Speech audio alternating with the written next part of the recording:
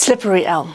Should you take it for acid reflux and for your gut healing? Yes or no? Hey gut feeler, in this video we're going to talk about slippery elm and I'm going to share with you how it works, what is this slippery elm all about, how to take it, and everything you need to know to use slippery elm bark safely. So let's get the obvious out of the way.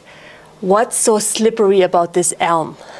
Well, slippery elm is a tree that comes from North America and used in, in the North American traditions from the Native Americans. Why it's called slippery is because it contains mucilage. Mucilage is a substance that when you put it in water and you dilute it in water, it becomes kind of a thick gel. And exactly this slimy substance. The reason it works so well for acid reflux, gut symptoms, and more that we're going to talk about in just a moment. Once you understand how slippery elm works, it's much easier to see if it's the right thing for you or not. The medicinal part of slippery elm that is used is the inner bark. So you have the tree here and then you take off the outer bark and in the inner bark you have like a reddish brown substance and this is the medicine. Slippery elm bark is a demulcent. Other natural demulcents are, for example, pectin from apples. You know when you make marmalade and you add some apples so it gets thick or you add some apple pectin? It's exactly the same category as slippery elm bark and also marshmallow marshmallow and also marshmallow root is a demulcent. Now what are demulcents, right? Have you ever heard of a demulcent? Demulcent is nothing else than a medical fancy term like there are so many. For a natural substance that helps to soothe the lining of your stomach, of your intestines and also of your outer skin and reduces irritation.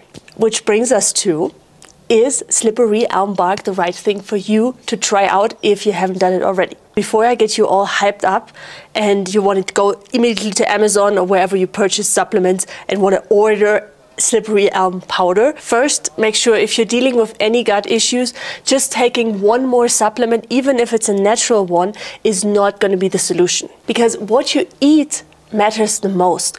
It's the most quantity, it has the most impact, can feed pathogens, can kill pathogens. So make sure you're addressing diet first and then bring in all kinds of supplements, including slippery elm bark. Now, who this is for? There are two things that are obvious and a few things that come kind of a, like an extra bonus. Let's focus on the things that are obvious. It's amazing if you're dealing with stomach problems.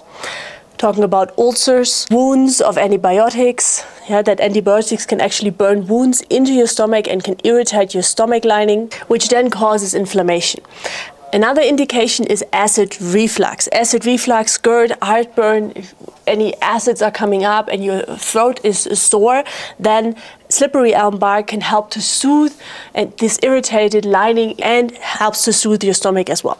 Further down in the digestive tract, we have the benefit for IBS, for IBD, which is inflammatory bowel disease, like Crohn's, for example, and anything that starts with inflammatory can help to soothe this inflammation and regenerate the tissue with the help of slippery bark elm elm bark. And even further down, we have diverticulitis, which also is inflammatory, and then the hemorrhoids. So if you're dealing with painful hemorrhoids, applying a mixture of this paste externally, but also taking it internally is a good support with all the other good things that you're doing, including your diet. And for extra bonuses that are not so what that are not so well known benefits of slippery elm bark can help with UTIs. If you have bladder infection reoccurring, there's this soothing effect of the mucilage that we talked about before.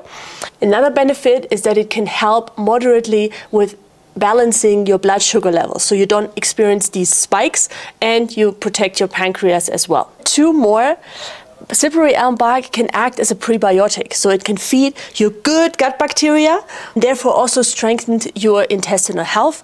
And last but not least on the benefits extra list is if you're dealing with anxiety, with lots of stress exposure. Slippery elm is here for you of a plant phenolic component that it contains, which strengthens both your physical health, but also up here your mental health. Now, before you go out there and just randomly take any slippery elm powder, I link you the one that I checked and that I use with my clients down there below. And now we're going to talk about how to use it and some advice of caution so you don't experience any side effects. Let's go. Starting with the moment of caution. Sometimes, not always, slippery elm bark can interact with certain medications because of the health benefits it contains.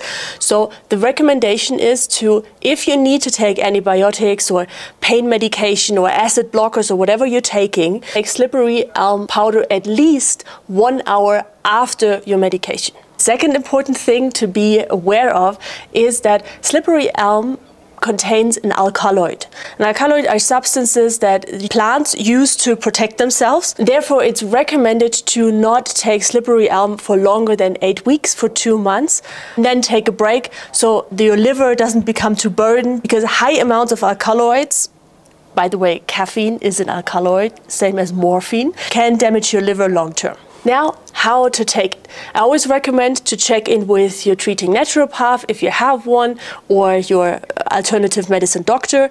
But if you're just self medicating right now, then the suggested dose is to use one tablespoon up to three times per day you always want to start slow. If I haven't stressed this out enough in other videos, we always want to offer something to the body and see how the body reacts, if it's appreciate it or not. So one tablespoon in a little bit of warm water mixed up to three times per day. You can also combine this, for example, with mashed banana. It actually doesn't taste that bad. Or you can also mix it in your morning smoothie. Okay, now, if you haven't picked up your free gut healing cheat sheet, I want you to do that right now because those are six simple hacks that you can easily integrate into your daily life and that can help you to improve your digestive health naturally and it's for free. If acid reflux is an issue for you, I recommend you to watch this video about how to treat acid reflux naturally without taking medication, digestive enzymes, which also just mess up your body more.